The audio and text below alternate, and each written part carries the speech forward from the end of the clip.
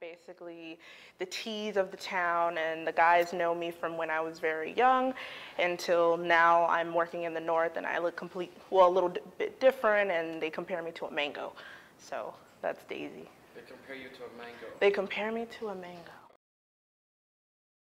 Being very flirtatious and walking around shaking from side to side and just kind of using the men around me to get what I want.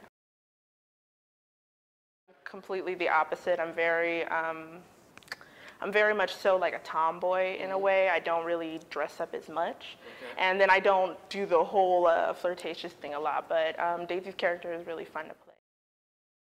As far as watching the movie, that was also written by Zora Hurston, um, and it it's actually um, it has some of the characters from the Mule Bone, and it's in the same setting. So just the outside um, work as far as watching the movie and then practicing with my mom because she'll read the lines that I can't do, like for Dave and Jim that are because we're mostly the Act Three. I am super excited. I'm I'm excited because one, not a lot of people are in school.